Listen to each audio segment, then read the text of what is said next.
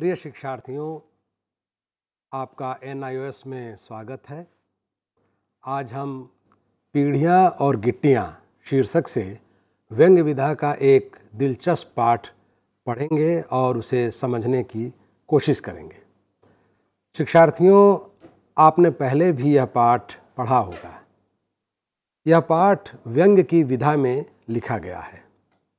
व्यंग्य गद्य साहित्य की एक ऐसी विधा है जिसमें व्यंग्य लेखक सीधे सरल शब्दों में अपनी बात स्पष्टता से कहता है। लेकिन पढ़ने के दौरान जब इसका अर्थबोध हम ग्रहण करते हैं तो एकदम से चमत्कृत हो जाते हैं। व्यंग्य के माध्यम से लेखक समाज में फैली तमाम तरह की विसंगतियों, विडंबनाओं, रूढ़ियों, कुरीतियों और अंधविश्वासों का ऐसा पर्दाफाश करता है कि पढ़ने और सुनने वाला उसे भीतर तक महसूस करने लगता है और अपने समाज के प्रति अपने उत्तरदायित्वों को महसूस करते हुए जागरूक होने लगता है और साथ ही अपने समाज को भी जागरूक करने का प्रयास करता है। शिक्षार्थियों, इस पाठ में लेखक ने साहित्य के क्षेत्र में सक्रिय युवा और वृद्ध पीढ़ियों के बीच के टकराव को व्यंग का सहारा लेते हुए सीधे सरल शब्दों में बेहद दिलचस्प ढंग से अभिव्यक्त किया है। आइए, पाठ शुरू करने से पहले इसके मूल उद्देश्य को एक बार समझ लें। शिक्षार्थियों, इस पाठ को पढ़ने के बाद आप व्यंग का अर्थ स्पष्ट कर सकेंगे। व्यंग विधा के तत्वों के आधार पर पीढ़ियाँ और गिट्टियाँ पाठ का विश्लेषण और विवेचन कर सकेंगे। दो पीढ़ियों के बीच चल रहे संघर्ष को बेहतर ढंग से आप समझा सकेंगे। व्यंग की भाषा शैली पर भी आप टिप्पणी कर सकेंगे। शिक्षार्थियों यह व्यंग्य लेख विख्यात व्यंग्यकार हरशंकर परसाई ने लिखा है। हरशंकर परसाई जी का जन्म 12 अगस्त 1922 को मध्य प्रदेश में जिला होशंगाबाद के जमनी गाँव में हुआ था। नागपुर विश्वविद्यालय से हिंदी में एमए करने के बाद उन्होंने कुछ समय तक नौकरी की, लेकिन उन्नीस सौ सत्तावन से लेखन को ही उन्होंने अपनी आजीविका का मुख्य साधन बना लिया। जबलपुर से उन्होंने वसुधा नाम की एक पत्रिका निकाली। वसुधा का आप अर्थ जानते हैं, पृथ्वी होता है। इसके अलावा नई दुनिया, नई कहानियाँ और सारिका में वो लगातार स्तंभ लिखते रहे। अपनी रचनाओं में रानी नागफनी की कहानी सदाचार का ताबीज़, वैष्णव की फिसलन, ठिठुरता हुआ गणतंत्र, विकलांग श्रद्धा का दौर, जैसी उन्होंने रचनाएँ दी और इन शीर्षकों से उनकी पुस्तकें प्रकाशित हुईं। हरशंकर परसाई की समस्त रचनाओं का संकलन परसाई रचनावली के रूप में छह खंडों में संकलित है। आप चाहें तो इन संग्रहों को देख सकते हैं, पढ़ सकते हैं। शिक्षार्थियों, परसाई जी समकालीन व्यंगकारों में सबसे बड़े, सबसे महत्वपूर्ण रचनाकार माने जाते हैं। उन्होंने समाज में फैली विसंगतियों, असमानताओं और विडम्बनाओं का बहुत विनोदपूर्ण वर्णन अपनी रचनाओं में किया है। सामाजिक तथा राजनीतिक समस्याओं पर भी उनकी कलम खूब चलती है। आइए, अब हम पीढ़ियाँ और गिट्टियाँ पाठ को ठीक से समझें और जानें कि व्यंग्य क्या है। शिक्षार्थियों, व्यंग्य एक ऐसी विधा है जिसमें किसी कही गई बात का अर्थ कुछ और हो तथा जो किसी विसंगति विसंगति का मतलब होता है कि जो होना तो चाहिए, लेकिन जो होना चाहिए वो न होकर कुछ और हो तो उसको हम विसंगति कहते हैं।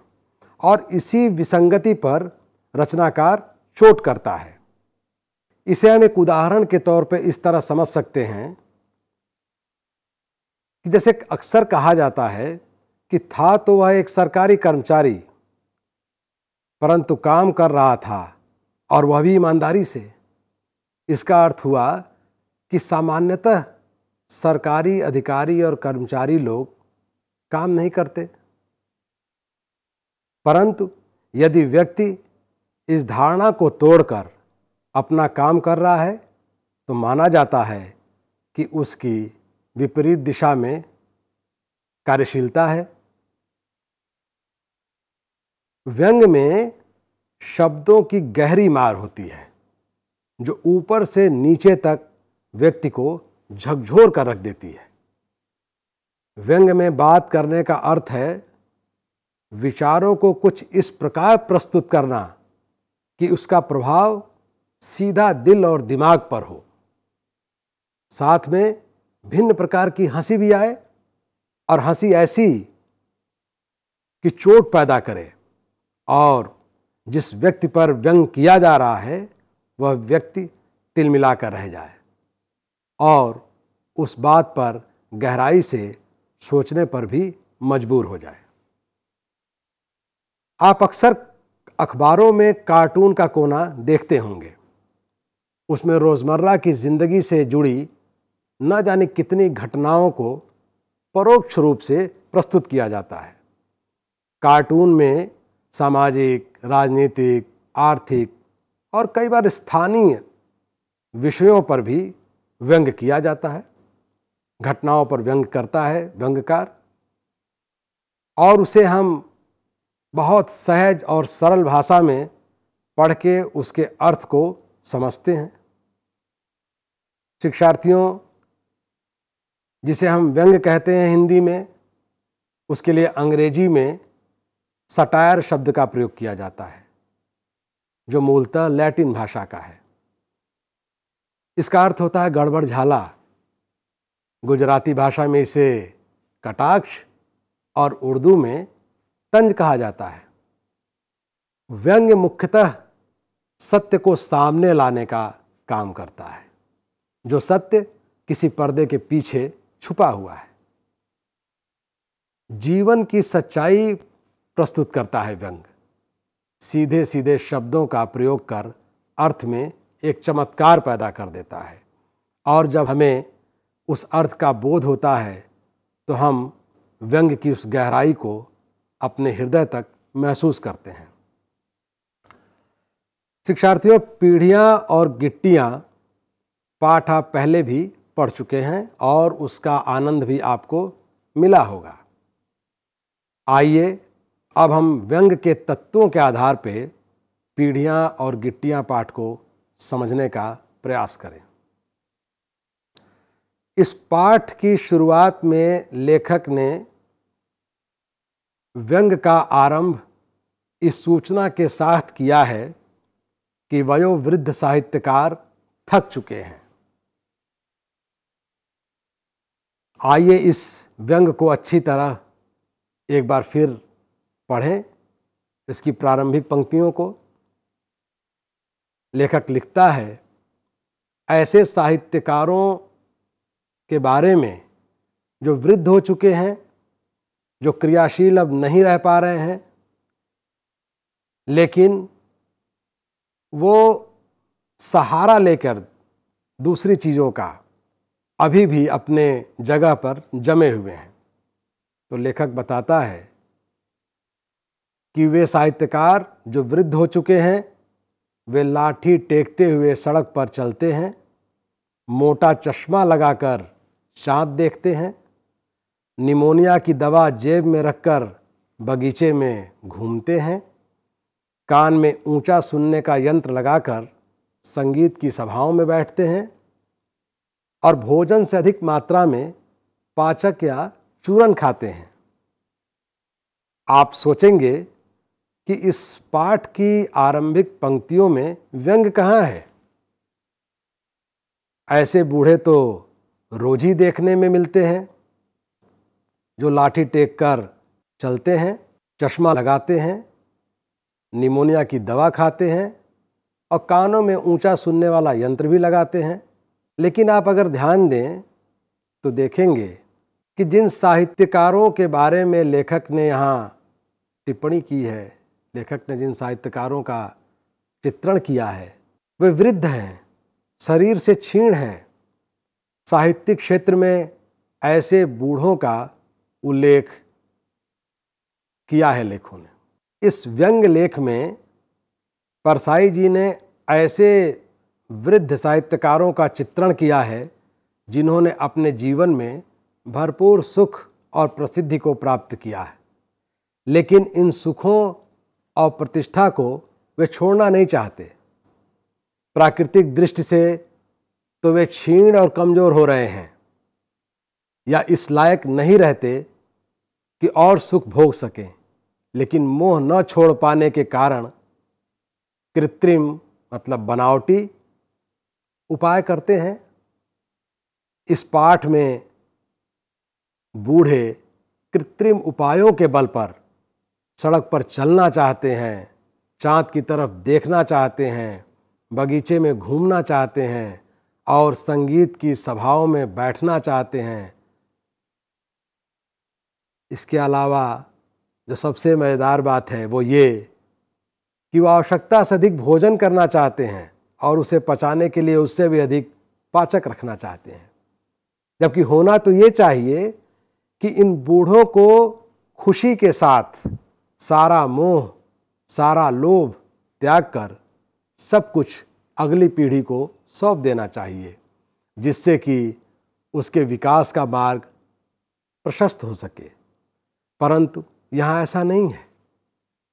इस बात की सूचना इस व्यंग के आरंभिक अंशों में ही हमें मिल जाती है। तो शिक्षार्थियों, आइए इस व्यंग के मूल कथा वस्तु को समझते हैं। इस पाठ के लेखक ने यह बताया है कि एक दिन युवाजन उन वृद्धों के पास गए और उनसे निवेदन किया कि वे बहुत बूढ़े तथा यशस्वी हो चुके हैं। अब उन्हें आराम करना चाहिए और आशीर्वाद देते रहना चाहिए, क्योंकि अब वे पूजनीय हो गए हैं, वे देवता के तुल्य हो गए हैं। और उन्हें यह बताया गया उन वृद्ध साहित्यकारों को। वृद्धों को यह बात पसंद आ जाती है, परंतु उन्हें आशंकाएँ हैं कि उनके यश, उनके झंडों उनके भोग, उनकी आमदनी तथा उनके प्रति श्रद्धा का क्या होगा? आप समझ रहे होंगे? यहाँ यश, झंडे, भोग, श्रद्धा और आमदनी से भाव यह है कि अब तक वे वृद्ध अपने जीवन में जो करते रहे, जिस किसी मान्यता या जिस किसी समूह को स्थापित करते रहे यश पा सके, उन सब की निरंतर प्रतिष्ठा या प्राप्ति अब कैसे संभव होगी? ये चिंता उन वृद्ध साहित्यकारों को सता रही है। इसका समाधान युवकों ने बहुत आसानी से किया है। उन्होंने वृद्धों को आश्वासन दिया कि उन्हें रोज भोग यानी श्रेष्ठ भोजन आदि दिया जाएगा। मंदिर में उनकी आरती उतारकर श्रद्धा भाव प्रकट किया जाएगा। वृद्ध साहित्यकारों की जो आमदनी अपनी पुस्तकों की बिक्री से होती थी, यानी जिसे हम रॉयल्टी कहते हैं, वह भी नियमित रूप से उन तक पहुँचा दी जाएगी। इसमें व्यंग यह है कि ये बुज़ुर्ग केवल इसी लायक रह गए हैं कि बैठकर अगली पीढ़ी को आशीर्वाद दें और समाज में मूर्ति के रूप में बने रहें। ये अब जीवन के उस पड़ाव पर पहुँच चुके हैं, जिसके बाद सृजनात्मकता या कुछ नया करने की संभावना समाप्त हो जाती है और जीवन निष्क्रिय हो जाता है। इनकी ज़रूरतें भी अब बहुत अधिक नहीं रह गई हैं, इसलिए सहज रूप में जितना मिल सके उतने में ही इन्हें संतोष करना चाहिए। बहुत अधिक प्राप्त करने के लालच को छोड़ देना चाहिए। देवता शब्द में भी व्यंग है। जिस प्रकार देवता राग द्वेष से दूर रहते हैं, उसी प्रकार इन बूढ़ों को भी रहना चाहिए। लेकिन ये देवता के पद को तो पाना चाहते हैं, पर आचरण देवताओं जैसा नहीं करना चाहते। इस पाठ में दिखाया गया है कि एक वयोवृद्ध ने बहुत महत्वपूर्ण सवाल उठाया। उसका कहना था कि हम कर्म के बिना कैसे जीवित रहेंगे? वृद्धों की ये आशंका स्वाभाविक थी। इस प्रश्न पर युवकों ने सुझाव दिया कि आप वृद्ध लोग एक दूसरे को अपने विगत जीवन के संस्मरण तो सुनाते ही रहेंगे। इन संस्मरणों को हम पुस्तक के रूप में छपवा देंगे और ये आपके कर्मशील होने का प्रमाण भी होगा। वृद्ध इस बात से सहमत हो जाते हैं और उन्होंने देवता बनना मंजूर कर लिया। आगे की कथा में लेखक ने कई व्यंग्यात्मक प्रहार किए हैं। जो वृद्धों की हठधर्मिता और मोह को हमारे सामने लाती है। जैसे आप जानते हैं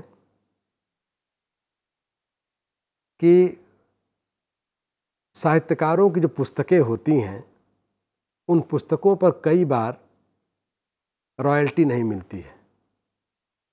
इसके लिए लेखक ने यह कहलवाया है एक युवक से कि हम उन्हें ठीक कर देंगे।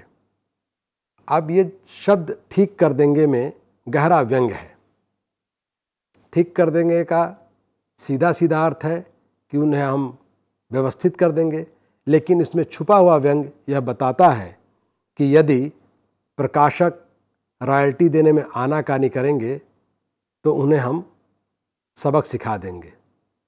इस तरह के बहुत सारे प्रयोग इस व्यंग में लेखक ने किए हैं। इस पाठ के अंतिम भाग में वयोवृद्ध साहित्यकारों को देवता बनाकर मंदिरों में प्रतिष्ठापित कर दिया गया है। देवता बनकर प्रतिष्ठित होने के बाद वृद्धों का ध्यान युवकों पर जाता है। वे उनके बारे में बात करने लगते हैं कि बाहर की दुनिया का आनंद ले रहे ये युवक हमें मंदिर में बंद कर दिए हैं। वे सोचते हैं कि बाहर युवकों में से कोई नाटक देख रहा होगा, कोई पकवान खा रहा होगा, सब खुश होंगे, मस्त होंगे। यहाँ पर लेखक कहना चाहता है कि वृद्ध जन देवता तो बन गए, लेकिन मोह को न छोड़ पाए। लोभ मन से नहीं निकल पाया। इसलिए युवकों के जीवन की खुशी और उत्साह के प्रति उनमें ईर्ष्या का या जलन का भाव होता है। लेकिन इनमें एक ऐसा वृद्ध भी है जो दूसरों की तरह नहीं, बल्कि समझदार है। वह कहता है कि वे युवक हैं, तरुण हैं, खाने खेलने लायक हैं। हम तो इस योग्य अब रहे नहीं। ज़्यादा खाएँगे तो हाजमा खराब होगा। कुछ काम करेंगे तो सांस फूल जाएगी। ये भोग का जीवन अब हमारे लिए नहीं रहा। इतना ही काफ़ी है कि ये हमारी वंदना करते हैं। यही हमारे लिए ठीक भी है। लेकिन दूसरे देवताओं को यह बात बिल्कुल पसंद नहीं आई। उन्होंने प्रतिवाद में कहा कि जो हमारा था, उस पर युवकों ने अधिकार जमा लिया। जहाँ कभी हम थे, वहाँ वे हैं। हमें केवल मूर्ति बनाकर रख दिया गया है। प्रायः सभी देवताओं के मन में अपने अधिकार वापस लेने की लालसा जाग गई। वह देवता इनमें शामिल न हुआ। और उसने वही किया जो ऐसे मौक़ों पर अकेले पड़ गया व्यक्ति करता है। वह चुपके से वहाँ से उठकर मंदिर के दूसरे हिस्से में चला गया। आपने देखा होगा, सभी देवताओं में यही वृद्ध सही और अच्छा आपको भी लगा होगा। वह इसलिए कि लेखक भी चाहता है कि बुज़ुर्गों को ऐसा ही होना चाहिए। उन्हें अपनी स्थिति और क्षमता का बोध होना चाहिए। दूसरे के प्रति सहानुभूतिपूर्ण दृष्टि रखनी चाहिए, खास तौर पर युवकों के प्रति। लेखक सभी बुज़ुर्गों पर व्यंग नहीं करता, केवल ऐसे लोगों पर व्यंग करता है जो अपने निरर्थक स्वार्थ के कारण दूसरों का मार्ग अवरुद्ध करके खड़े हो जाते हैं। शिक्षार्थियों, आपने इस व्यंग का आनंद लिया। आइए इसके अंतिम हिस्से में देखते हैं कि देवता बने हुए ये बुज़ुर्ग साहित्यकार कैसा व्यवहार अपने उस अगली पीढ़ी के साथ करते हैं जो युवा है। तो हम देखते हैं कि देवताओं ने सलाह करके जो निष्कर्ष निकाला, वह शाम को युवकों के आने पर ज़ाहिर हो गया। जैसे ही युवक थाल में मिठाई सजाकर देवताओं के सामने आए तो देखते हैं कि देवता चबूतरे पर खड़े हैं और उन्होंने युवकों पर पत्थर बरसाने शुरू कर दिए। युवकों ने इस पथराव का कारण पूछा तो देवताओं ने कहा, कि तुमने हमें उन सबसे रहित कर दिया, जो कल तक हमारा था। अब युवकों ने स्पष्ट किया कि उन सबसे वंचित रहने का मूल कारण उनकी बढ़ती उम्र ढलती शक्ति है, हम नहीं। और बुज़ुर्ग साहित्यकारों को यह स्वीकार भी करना चाहिए था। युवकों ने कहा कि फिर भी हम तुम्हें सम्मान दे रहे हैं और तुम हो कि पत्थर से हमें चोट पहुँचा रहे हो, हमें अपमानित कर रहे हो। इस पर देवताओं ने पहले से तैयार अपना फैसला सुना दिया कि जिन राहों पर हम चले थे, उन पर युवक न चलें। जो हमारा भोज्य था, वह युवक नहीं खाएँगे। और झंडे भी हमारे ही फहराए जाएँगे, युवकों के नहीं। आप समझ ही रहे होंगे कि झंडे से यहाँ तात्पर्य उन सिद्धांतों से है, जिससे ये वृद्ध अब भी चिपटे हुए हैं। उन मतों से है जिसे ये वृद्ध अब भी छोड़ना नहीं चाहते। नए युग के युवकों ने देवताओं का फैसला मानने से इनकार कर दिया, जिस पर क्रोधित हो देवताओं ने पत्थर बरसाने शुरू कर दिए। और जैसी कि उम्मीद थी, एक युवक ने आव देखा न ताव, पीपल के पेड़ पर फहरा रहे देवताओं के झंडों को ही फाड़ कर फेंक दिया। दोनों ओर से हमले होने लगे और जब एक राहगीर ने दूसरे से मामला पूछा तो जवाब मिला, यह लड़ाई नहीं है, बल्कि दो पीढ़ियों के बीच कलागत मूल्यों को लेकर बहस हो रही है। ये कलागत मूल्य एक व्यंग्योक्ति है।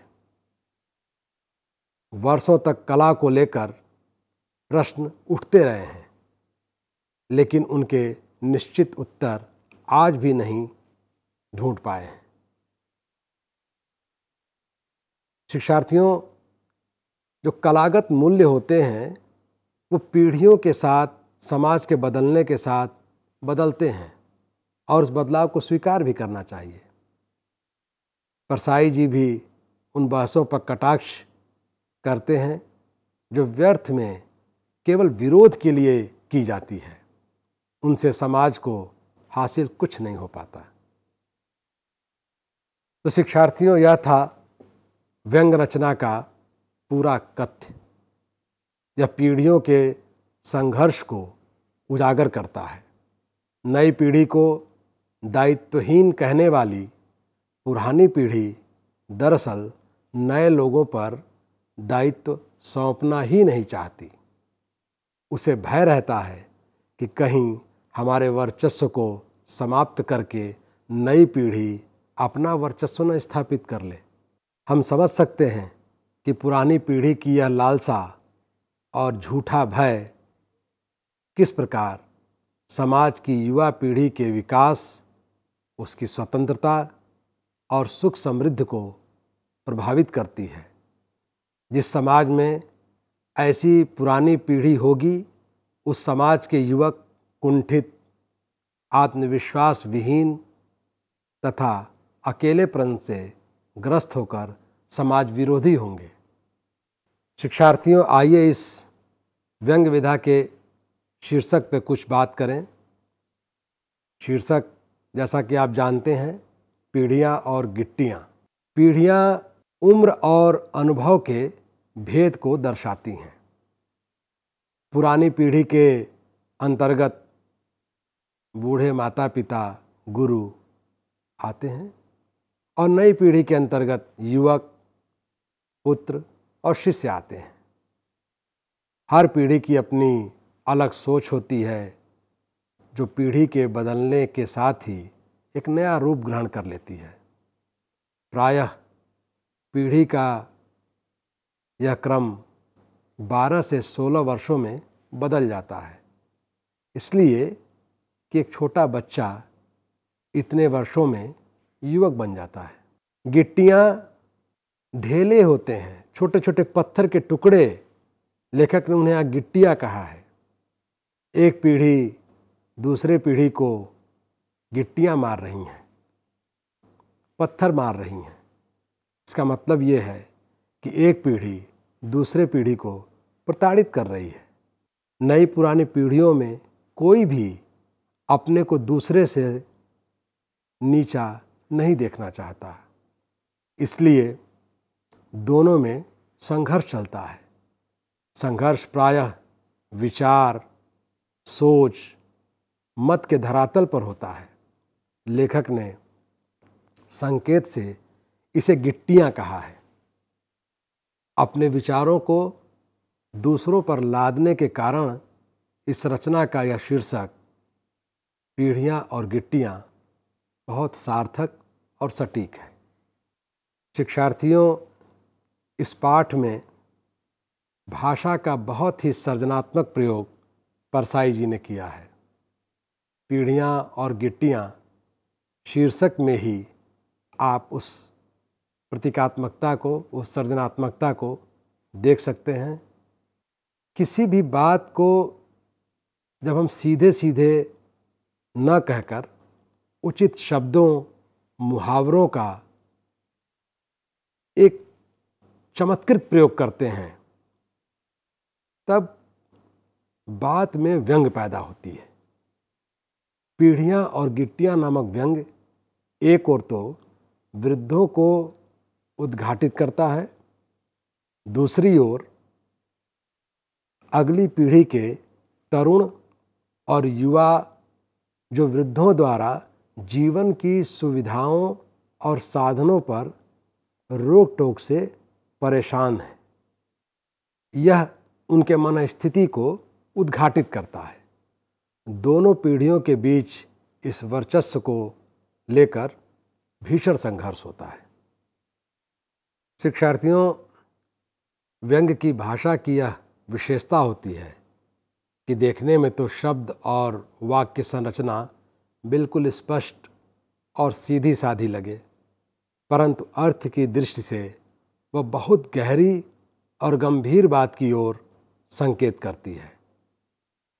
जैसे पाठ के शुरू में ही लेखक ने लिखा है कि साहित्य के वयोवृद्ध थकित हुए। वे लाठी टेकते हुए सड़क पर चलते, मोटा चश्मा लगाकर चाँद देखते, निमोनिया की दवा जेब में रखते, बगीचे में घूमते, कान में ऊँचा सुनने का यंत्र लगाकर संगीत सभा में बैठते, भोजन से अधिक मात्रा में पाचन का चूरन खाते। बार बार पढ़ने में इन पंक्तियों को आनंद आता है और इसके पीछे छिपा व्यंग भी हमें समझ में आने लगता है। पहला वाक्य बताता है कि आगे लिखी गई बातें साहित्य के क्षेत्र में कार्यरत, वयोवृद्ध और जीवन से थके व्यक्तियों के लिए लिखी गई है और उसके बाद एक एक वाक्य व्यंग में लिखा गया है। इसी प्रकार बगीचे में घूमना उन्हें इतना पसंद है कि वे ठंड में भी घूमते हैं। परंतु कहीं निमोनिया न हो जाए, इस डर से हमेशा दवाइयाँ भी खाते रहते हैं। संगीत सभा में जाना उनके लिए अधिक महत्वपूर्ण है। चाहे वे उसे यंत्र लगाकर ही क्यों न सुने। लेखक ने पूरे पाठ में व्यंग्यात्मक शैली का प्रयोग किया है। शिक्षार्थियों अब तक आप समझ चुके होंगे कि व्यंग्यात्मक शैली किसे कहते हैं। व्यंग्यपूर्ण अंदाज में किसी बात को कहना ही व्यंग्यात्मक शैली होती है। लेखक ने स्थान स्थान पर मुहावरों का सटीक प्रयोग करके इस व्यंग को और दिलचस्प बना दिया है और गहरा बना दिया है। जैसे आनाकानी करना, ठीक करना ऊँचा सुनना, खाने खेलने देना। शिक्षार्थियों, अब तक हमने पीढ़ियाँ और गिट्टियाँ पाठ के संदर्भ में बहुत सी बातों पर चर्चा की, उसका विश्लेषण और विवेचन किया। आइए अब कुछ बातें शब्द शक्तियों के बारे में करते हैं। शब्द शक्तियाँ तीन प्रकार की होती हैं। अभिधा, लक्षणा और व्यंजना। जिसे हम व्यंजना कहते हैं, वही शब्द शक्ति, व्यंग्य को पैदा करती है। जब किसी बात को सीधे सीधे शब्दों में स्पष्ट रूप से हम कहते हैं तो वह अविधा कहलाती है। क्योंकि उन सीधे, सरल शब्दों में प्रचलित अर्थ अभिव्यक्त होते हैं। जैसे आप कहें कि मैंने चाँद देखा, इसका सीधा साधा अर्थ हुआ कि चाँद आपने देखा है। परंतु यदि यह कहें कि मैंने सुबह सुबह अपने घर में एक खूबसूरत चाँद देखा तो इसका अर्थ अलग होगा। इसका अर्थ होगा कि आपने अपने किसी प्रिय का सुबह सुबह चेहरा देखा है। क्योंकि हम सब जानते हैं कि चाँद सुबह नहीं और घर में नहीं उगता, आसमान में और रात में उगता है। इस प्रकार इस वाक्य में लक्षणा शब्द शक्ति को हम देख सकते हैं।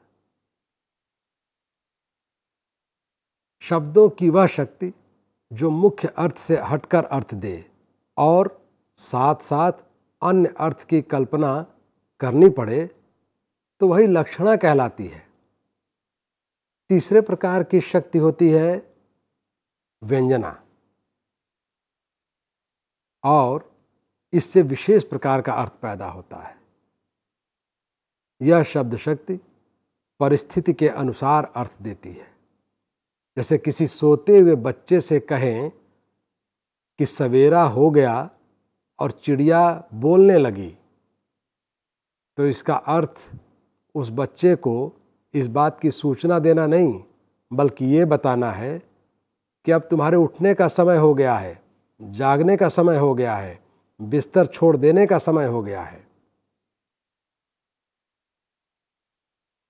तो आप समझ सकते हैं कि व्यंजना पैदा करने के लिए व्यंजना शब्द शक्ति का प्रयोग रचनाकार अपनी रचनाओं में करते हैं और यह व्यंग के लिए एक आवश्यक शब्द शक्ति मानी जा सकती है। शिक्षार्थियों, आइए पाठ के अंत में एक बार हम फिर से जानें कि इस पाठ से हमने क्या क्या सीखा। इस पाठ में हमने देखा कि पीढ़ियाँ और गिट्टियाँ एक व्यंग रचना है जो साहित्यिक क्षेत्र के वृद्धों और युवकों की मानसिकता को स्पष्ट करती है। व्यंग में शब्दों की गहरी मार होती है, जो व्यक्ति को भीतर तक झकझोर देती है। व्यक्ति को सोचने पर मजबूर करती है। व्यंग में विचारों की गहराई होती है, जो व्यक्ति को सोचने पर मजबूर करती है। व्यंग को अंग्रेज़ी में सटायर, गुजराती में कटाक्ष और उर्दू में तंज कहते हैं। व्यंग में मुहावरे और व्यंग्योक्तियों का बहुत महत्व होता है, जो भाषा को अधिक प्रभावशाली और पैना बनाता है। पाठ में छोटे छोटे वाक्य संवादात्मक और व्यंग्यात्मक शैली में प्रस्तुत किए गए। पाठ में दो पीढ़ियों का संघर्ष दिखाया गया है। तो शिक्षार्थियों, आपने धैर्य से पीढ़ियाँ और गिट्टियाँ पाठ को सुना और समझा। इसके लिए आपका बहुत बहुत धन्यवाद।